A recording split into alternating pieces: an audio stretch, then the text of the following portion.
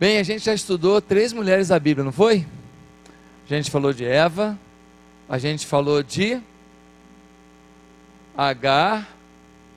Não, antes de Agar foi Sara e depois Agar.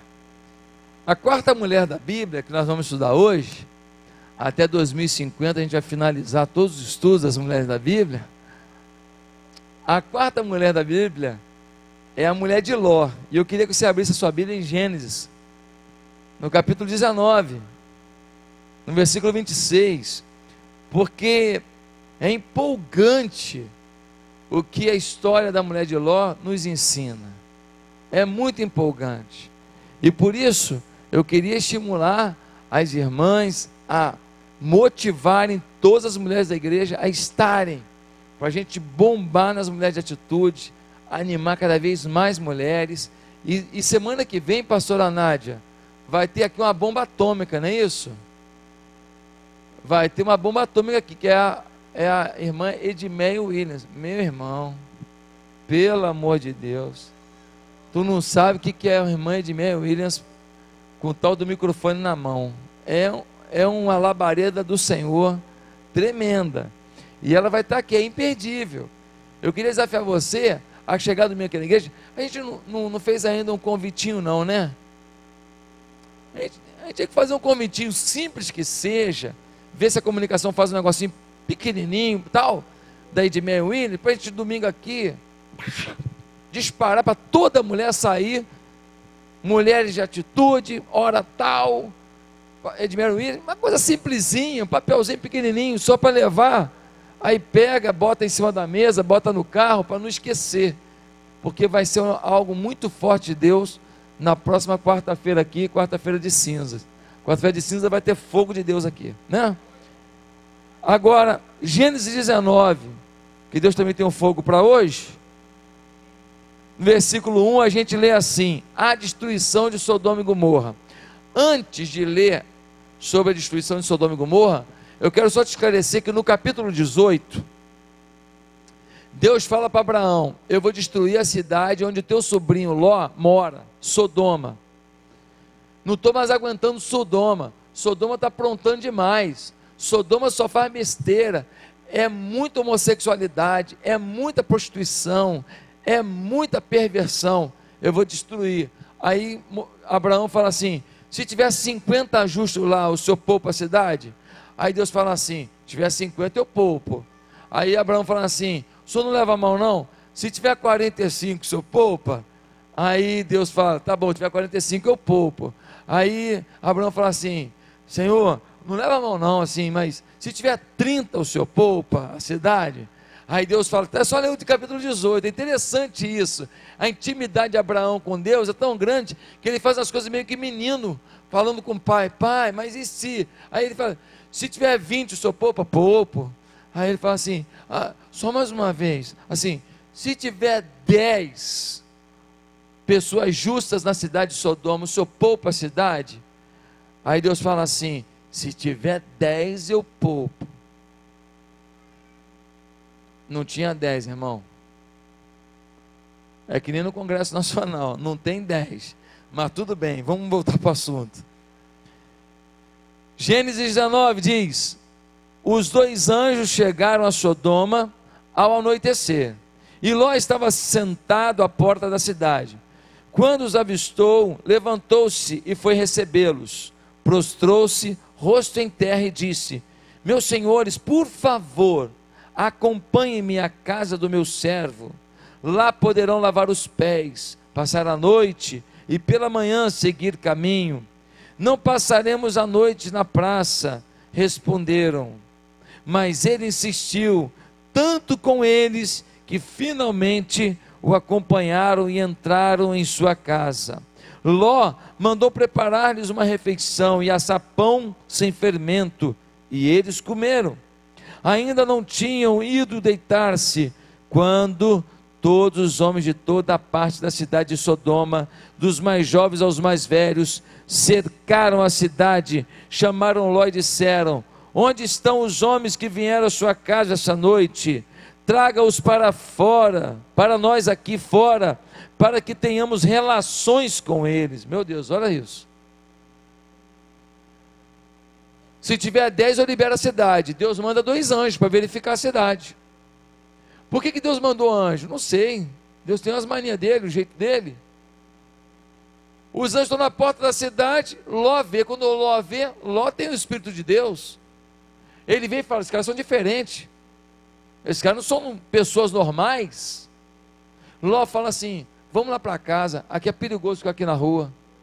Eles falaram: não, nós vamos ficar aqui na rua mesmo. Falou: não, pelo amor de Deus, não fica na rua não, vem comigo. Eles vão para casa. Aí Ló faz uma refeição para eles, junto com a mulher dele, papapá. Depois da refeição, quando eles vão dormir, um tumulto em volta da casa. Homens jovens e homens velhos. Os homens da cidade falando: traz aqui para fora os dois homens bonitões que entraram aí. Porque nós queremos ter relações com ele. Olha, olha que cidade pervertida. Versículo 6: Ló saiu da casa, fechou a porta atrás de si e lhes disse: Não, meus amigos, não façam essa perversidade. Olhem, tenho duas filhas que ainda são virgens. Vou trazê-las para que vocês façam com elas o que bem entenderem. Mas não façam nada a esses homens, porque se acham debaixo da proteção do meu teto. Saiam da frente, gritaram. E disseram: Este homem chegou aqui como estrangeiro, e agora quer ser juiz, faremos a você pior do que a eles. Então empurraram Ló com violência e avançaram para arrombar a porta. Nisso, os dois visitantes agarraram Ló, puxaram-no para dentro e fecharam a porta. Depois feriram de cegueira os homens que estavam à porta da casa, dos mais jovens aos mais velhos, de maneira que não conseguiam encontrar a porta. Os dois homens perguntaram a Ló: Você tem mais alguém na cidade? Genros, filhos e filhas ou qualquer outro parente? Tire-os daqui, porque estamos para destruir esse lugar. As acusações feitas ao Senhor contra esse povo são tantas que ele nos enviou para destruir a cidade. Então Ló foi falar com seus genros, os quais iam casar-se com suas filhas, ele disse: Saiam imediatamente desse lugar, porque o Senhor está para destruir essa cidade. Mas eles pensaram que ele estava brincando. Ao raiar do dia, os anjos insistiram com Ló, dizendo: Depressa, leve daqui sua mulher e suas filhas, ou vocês também serão mortos quando a cidade for castigada. Tendo ele hesitado, os homens, os dois anjos, né? O agarraram pela mão, como também a mulher e duas filhas, e os tiraram dali à força e os deixaram fora da cidade, porque o Senhor teve misericórdia deles. Assim que os tiraram da cidade, um deles disse a Ló: Fuja por amor à vida, não olhe para trás e não pare no lugar aonde lugar nenhum da planície. Fuja para as montanhas, ou você será morto. Ló, porém, lhes disse: Não, meu senhor, meu servo foi favorecido por sua benevolência, pois o Senhor foi bondoso comigo, poupando minha vida. Não posso fugir pelas montanhas, senão essa calamidade cairá sobre mim e morrerei. Aqui perto há uma cidade pequena, está tão próxima que dá para correr até lá. Deixe-me ir para lá, mesmo sendo tão pequena, lá estarei a salvo. Está bem, respondeu ele. Também lhe atenderei esse pedido. Não destruirei a cidade da qual você fala. Fuja depressa, porque nada poderei fazer enquanto você não chegar lá. Por isso a cidade foi chamada Zoar quando Ló chegou a Zoar, o sol já estava nascido sobre a terra. Então o Senhor, o próprio Senhor, fez chover do céu fogo e enxofre sobre Sodoma e Gomorra. Assim ele destruiu aquelas cidades e toda a planície, com todos os habitantes das cidades e a vegetação. Mas a mulher de Ló olhou para trás e se transformou numa coluna de sal. Amados, a mulher de Ló se casou com um homem próspero. Ló foi discipulado, teve como coach Abraão. Abraão ensinou tudo para Ló e Ló se tornou um homem tão empreendedor que chegou a um ponto que a riqueza de Ló com a riqueza de Abraão não dava para ficar no mesmo lugar, era muito gado. Então Abraão disse: Ló, Escolhe para onde você vai. Se você for para a direita, eu vou para a esquerda. Se você for para a esquerda, eu vou para a direita. E então Ló foi meio egoísta. ele viu os vales maravilhosos, verdejantes do Jordão, onde ficava a região de Sodoma e Gomorra. E ele foi para lá, pegou o melhor para ele, não quis dar o melhor para o seu tio, que o ensinou tudo que sabia. E aí, ele vai para lá, chega lá, ele encontra uma cidade de costumes diferenciados, de costumes profanos, mas logo começa a fazer amizade. Começa a jogar futebol com o pessoal, começa a jogar porrinha na praça, começa a bater papo para lá e para cá. E de alguma maneira a gente vê que Ló começa a se inserir naquele contexto da cidade e se sentir tranquilo e feliz ali. A mulher de Ló é uma mulher próspera, uma mulher rica. Ela tem várias bolsas Louis Vuitton, ela vai ao salão sempre, ela tem uma vida regalada porque o seu marido é um homem rico. Ela acabou de trocar de carro há pouco tempo. Ela agora colocou um carro que tem airbag até no traseiro. Mas não é do carro, é dela. E aí ela está agora tudo bonita, ela está andando chique, ela tem tudo bom e melhor, ela começa a gostar da cidade. Mas Deus cansou da cidade. A cidade é pervertida e Deus manda dois anjos para verificar se tem só dez justos. Se tiver dez justos, ele não destrói a cidade, senão ele vai destruir a cidade. Ló vai e convida aqueles homens para ir para a casa dele, faz uma refeição. Quem fez a refeição? A mulher de Ló. Ela é hospitaleira. Ela é uma mulher rica, ela é uma mulher nobre, que está se encantando um pouco com a cidade, mas ainda é uma mulher hospitaleira. Ela faz um pão gostoso, ela faz um jantar gostoso. Ela prepara a cama dos dois hóspedes. Interessante que os dois hóspedes chegaram na cidade, porque quem convidou? Ló. É muito gostoso quando o marido convida as pessoas para ir para sua casa sem te avisar, né, minha irmã? É muito bacana isso. As mulheres adoram isso que Ló fez. Ele encontrou dois homens e falou assim: Olha, Fulana, olha que beleza, eu trouxe dois hóspedes aqui, vai fazer comida. Olha que legal, né? Mas não diz o texto que ela reclamou. Diz o texto que apesar do jeito que ele fez, ela prepara a refeição, prepara a cama, prepara os pijamas para receber os dois hóspedes. Talvez ainda não tenham entendido que os dois hóspedes são anjos do Senhor. Meus amados irmãos, quando eles vão dormir, um burburinho lá fora. Olá! Manda os dois gostosões aqui para fora. Manda os dois modelos aí aqui para fora. Nós vimos dois homens lindos. Nós queremos ter relações com eles. Meu Deus, olha que ponto chegou. Nós vamos estuprar os caras. Olha que caminho de perversão. É isso que algumas leis do nosso país querem impor o movimento gay do país não quer ser respeitado, quer desrespeitar. Ser respeitado é um direito deles. Tem que ser respeitado, cada um escolhe o que quer. Mas afrontar a família, des, destruir a família, como leis estão fazendo, ensinar criança a se masturbar, ensinar adolescente é, é, a, a, a, a fazer orgia, Irmãos, tem cartilha ensinando isso. Pastor, mas que é isso? Estou te falando. Tem foto, foto. Quatro homens se relacionando na mão de crianças de 9, 10 anos. É isso que a política que o governo adotou agora quer fazer com as nossas crianças, nossas famílias. Meus irmãos, pastor, duvido, duvida? Bate na internet, como é que é o nome daquela irmã que veio aqui dar uma palestra mesmo? Esqueci agora. Depois eu falo. É uma irmã lá de Brasília, experimentada. Ela mostra os slides. Você vai vendo a palestra? Os slides todos das cartilhas que são distribuídas pela nação. Meus amados irmãos, infelizmente a situação aqui é a mesma. Terrível. Aí Ló vai lá para fora. Por favor, gente, não toca nesses homens não. Ló, para de conversa, manda os caras aqui para fora. Não, eu tenho duas filhas virgens eu dou minhas filhas para vocês, façam o que quiserem, mas não toquem nesses homens. Na cultura do Oriente, um hóspede você tem que defender com todas as suas forças, com tudo que você puder, esse hóspede. Meus amados irmãos, pegou pesado de Marló, botar a filha nesse negócio, não me pede para explicar isso.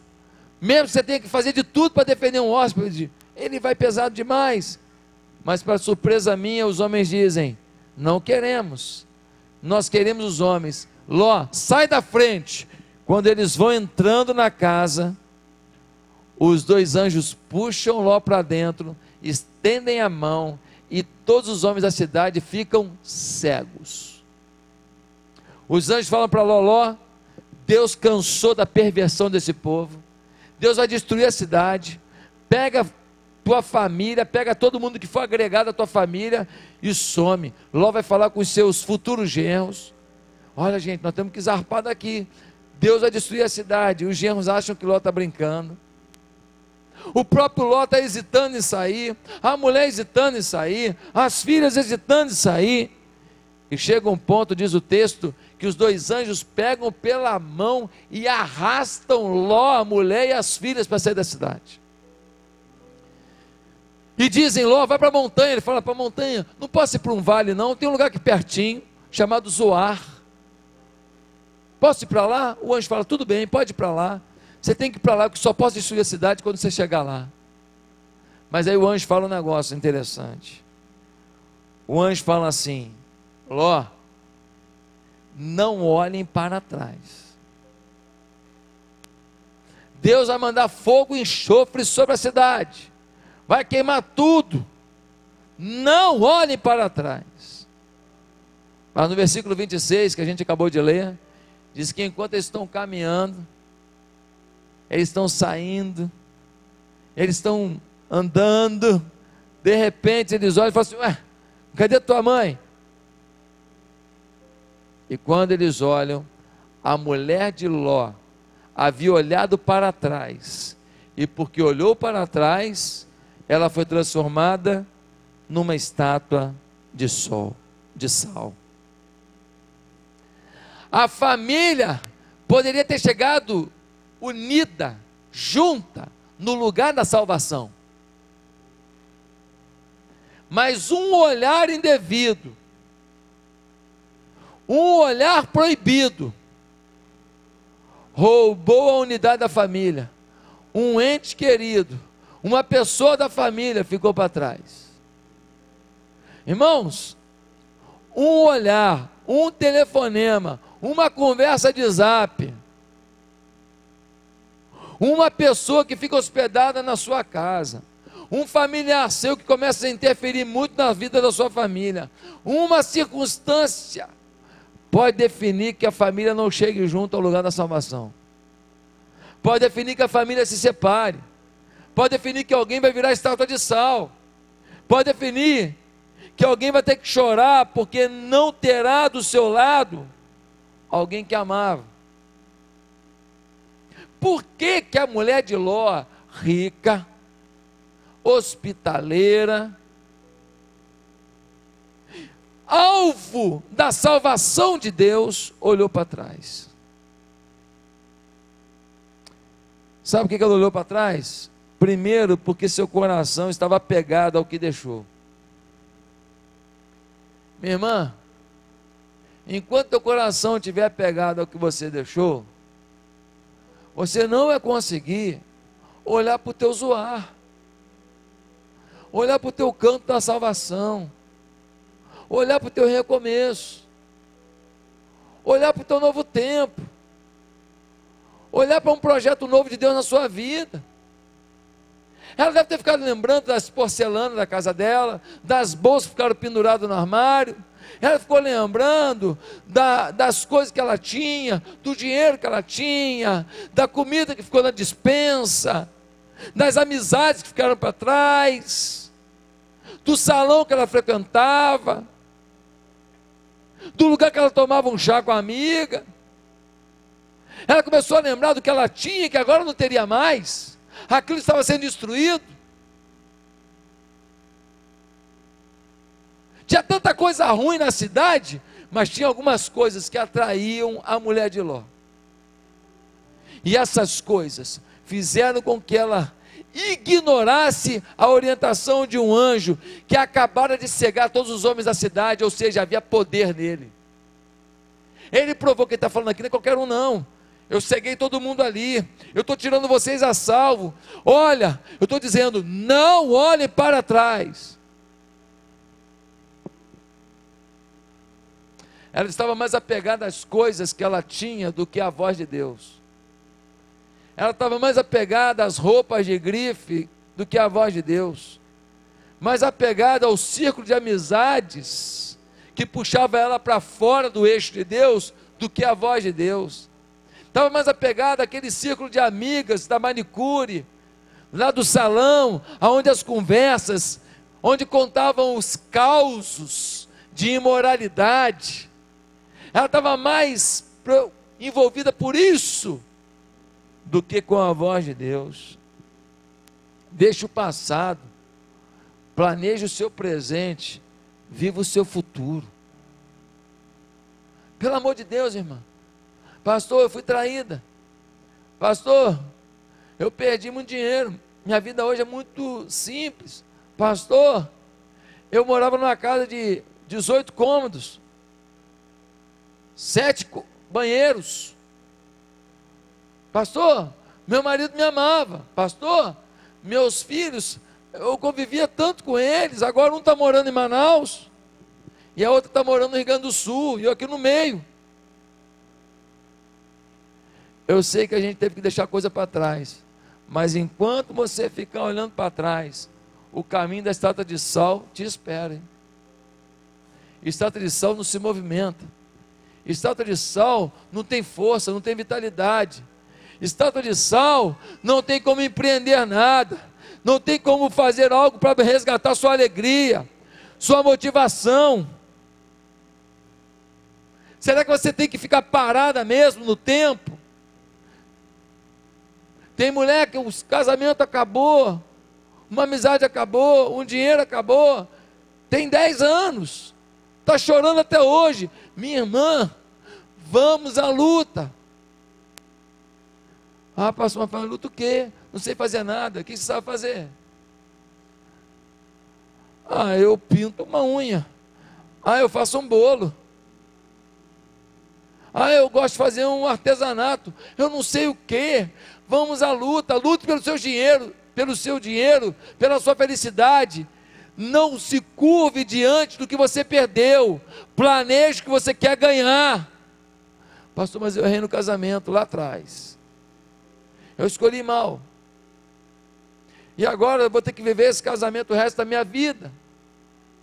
Não. Você não tem que viver esse casamento o resto da sua vida. Você tem que restaurar esse casamento pelo resto da sua vida.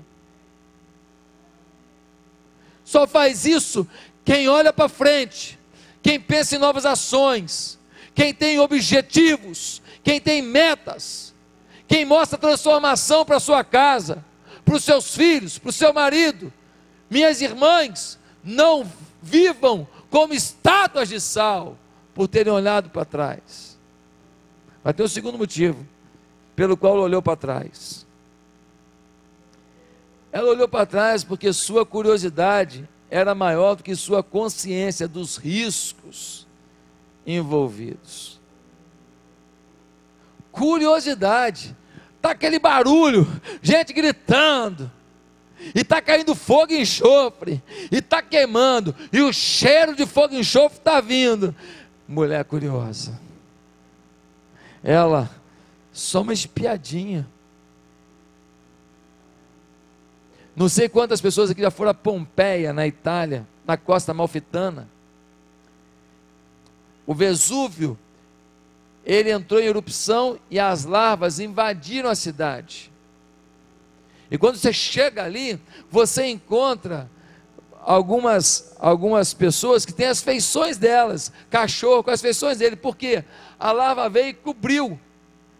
E aí, depois de um tempo, quando começaram as escavações que acharam a cidade romana, eles foram cavando e viram que tinha a lava tinha ficado em volta e ficou um buraco no meio, porque a pele, o corpo foi consumindo.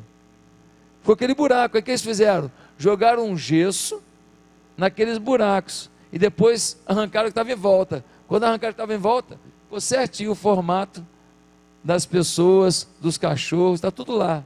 É muito interessante. Tive o privilégio de fazer uma visita a essa cidade histórica. Muita gente, meu querido, tá assim. Tá que nem aqueles aqueles personagens da de Pompeia, paralisados, um bloco. Porque um dia brincaram com a curiosidade.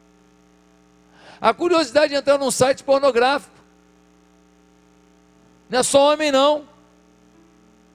A curiosidade de ficar lendo algumas matérias de mulheres falando como foi que eu provei orgasmo com o meu amante e não sei o que, e essas revistas malditas, e aí a mulher fica curiosa, e aí uma ex-prostituta escreve um livro contando os casos dela, e a outra faz blog, e tem gente que tem curiosidade, e não sabe que aquelas coisas nocivas podem gerar um castelo na sua cabeça. O outro tem curiosidade da bebida, curiosidade de ir num determinado lugar, de conhecer uma boate, curiosidade daqui e dali, e curiosidade muitas vezes te leva para o limite entre a salvação e a morte. Quantas pessoas que acharam um ex-namorado casadas por curiosidade. Será que o Manelzinho que me namorou quando eu tinha 16 anos está bonito? Irmãs, eu estou falando do que eu vivo em gabinete. Aí vai lá no Facebook e bate Manuelzinho do Borel. Aí aparece. E o Manuelzinho está tão mais bonito do que o meu Juquinha.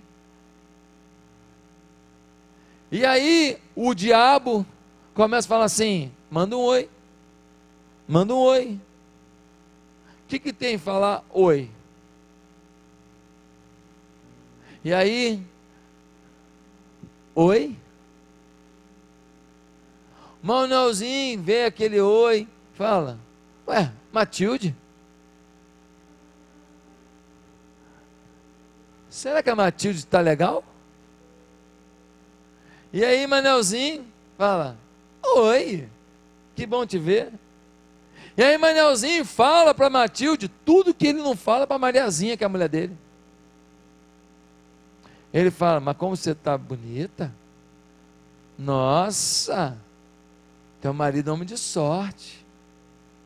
E aí, ela começa a escutar tudo que ela quer ouvir. Curiosidade te disponibiliza para coisas que você nunca imaginou. O cara é alcoólatra porque teve curiosidade de provar uma coisa, não sabia que tinha uma predisposição para bebida. Teve gente que se tornou alcoólatra já com 40 anos, nunca tinha bebido. Aí, com 40 anos, pô, vamos fazer parte aqui do clube de uísque. Pô, cara, nem gosto, cara, maneiro, cara. A gente vai lá, senta ali, tem a minha garrafa, ele acha charmoso aquilo. Aí ele vai lá, compra uma garrafa. Cachaça Label. Aí vai lá e bota cachaça Label com o nome dele. Ele acha, ele acha glamuroso isso. Se torna um alcoólatra. E o alcoolismo vai trazer um monte de outras coisas junto com ele. Queridos, não sabemos o que a curiosidade pode aguçar na nossa mente. Uma curiosidade pode virar uma obsessão, pode virar um vício, pode virar um envolvimento no problema dos outros. Por causa de curiosidade, você se torna uma fofoqueira. Está sabendo? O que? Nem te conto. Deixa para lá, deixa para lá, deixa para lá. Agora conta. Não, não, não, não gosto de falar dos outros, não. Minha boca é um túmulo. Curiosidade. Daqui a pouco, quando estourar o problema, Quem sabia? Você. Você se envolveu num problema. Você vai ser considerado uma pessoa traidora. Por que você não me contou isso? Você sabia? Você deixou ficar no vácuo esse tempo todo. Você acha justo isso comigo? Você perde uma amizade. Você destrói a sua família. Porque você teve curiosidade de saber o que não tinha nada a ver com a sua vida. Curiosidade. E quando a gente é curioso, a gente descobre o que é e descobre o que não é também. Porque o curioso está com tanta vontade de, de, ver uma coisa nova, que o que der para ele, ele lê, o que der para ele, ele pega. E nem tudo que dizem sobre A ou B é verdade. Nem tudo que dizem sobre a situação C ou D é verdade. Mas o curioso, ele se torna alguém fofoqueiro? Não. Antes disso, ele se torna, sabe o que? Mexeriqueiro. Mexeriqueiro é aquele que faz o mexerico para descobrir. Aí ele conta para alguém, ele se torna o fofoqueiro. Mas tem uma terceira fase que a irmã pode então ser graduada.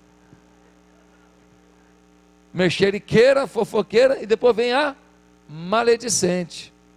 Mexeriqueiro, e aí, está sabendo alguma coisa? E aí, fulano, cadê? Hum, hum, hum. Ele quer descobrir. Ele entra no Face todo mundo. Tu viu onde que a fulana passou o carnaval? Mas deve, deve estar tá roubando. Esse é o mexeriqueiro. Depois vem o fofoqueiro, passa adiante. O maledicente aumenta um ponto. O maledicente, ele conta um detalhe a mais, para dar um glamour na, na, na fofoca. Irmãos, a curiosidade leva o mexerico, a fofoca, a maledicência, com uma facilidade que você pensa que você está isenta disso. Se engane não se engane não. Pior é que a curiosidade não é para ler a Bíblia, não. Porque eu quero saber mais da história da mulher de Ló. Quero saber mais sobre as características da mulher virtuosa. Eu vou ler Mateus, Marcos, Lucas e João, os quatro evangelhos, para saber tudo que Jesus fala sobre mulher. Curiosidade, não. A curiosidade da mulher de Ló foi para ver a desgraça dos outros. Tem gente que tem uma tendência, uma curiosidade para ver os outros se queimando no enxofre, para ver os outros se ferrando, se lascando. Aí vira estátua de sal. Uma mulher saiu uma vez com um amigo. Aquele amigo, amigo, amigo de trabalho, sei lá, amigo de escola. O amigo falou: Pô, vamos tomar um negócio aí. Aí tomou. Pô, tomou outro negócio aí? Tomou. Vamos misturar um negócio aqui? Misturou. Ela ficou meio lerdona. Eles tiveram sexo. E ela ficou grávida numa única relação, alcoolizada, com um amigo que trabalhava com ela, que ela nunca tinha imaginado fazer sexo com ele. Sabe o nome disso? Sabe o nome disso? um detalhe fatal. A sua curiosidade pode levar a um detalhe fatal, um momento fatal, uma história fatal. Minha irmã, repense a sua curiosidade. Mas em último lugar, está na nossa hora. Por que a mulher de Ló olhou para trás? Porque ela tinha pouca percepção dos riscos de sua desobediência a Deus. Alguém disse assim: por que, que eu tenho que só fazer sexo dentro do meu casamento? Porque Deus definiu. Mas, você não tem outra resposta? Eu tenho várias respostas. Mas se nenhuma delas lhe servir, a resposta inicial é suficiente. Deus definiu. Por que, que eu tenho que estar na convivência da igreja? Por que, que eu tenho que me congregar com a igreja? Eu não posso simplesmente ser crente dentro de casa. Porque Jesus definiu. Mas você não tem uma outra resposta? Eu tenho um monte de argumentos. Mas se nenhum deles for suficiente, basta o fato de Jesus dizer que ninguém deve se afastar da sua congregação. Basta o fato de a Bíblia dizer que Deus deu pastores para guiar o rebanho e ser modelo do rebanho. E eu poderia citar várias, várias afirmações que Jesus dá, que o apóstolo Paulo dá, para que você diga: eu preciso estar igre igrejado, conectado com a igreja, senão não vou funcionar do jeito que Deus quer. É Bíblia. Ah, pastor, por que, que eu tenho que é, é, ajudar os pobres? Por que, que eu tenho que entregar oferta? Por que, que eu tenho que discipular pessoas? Por que, que eu tenho que me permitir ser discipulado? Por quê? Porque a Bíblia diz. Você não tem outro argumento, não? Eu tenho, mas se nenhum deles te servir, fica só com o que a Bíblia diz. Deus é que define. Ela não foi obediente porque ela não percebeu os riscos da desobediência. Querido, toda desobediência pode trazer riscos que você nunca imaginou. Toda desobediência pode trazer castigos que você nunca imaginou. Toda desobediência a Deus, a Sua palavra, pode trazer consequências que não vão atingir apenas você, mas pode atingir as suas próximas gerações. Quanto neto pagando a conta do que o avô fez. Eu, eu conheci uma pessoa, olha, a família passa uma miséria. O avô dele foi trilhardário. Pensa uma pessoa muito rica, muito. Mas começou a se envolver com negócios escusos e tal, tal, tal, e perdeu tudo de uma maneira assim horrível. E aí o filho já ficou numa magrela danada, o neto numa pobreza. Queridos irmãos,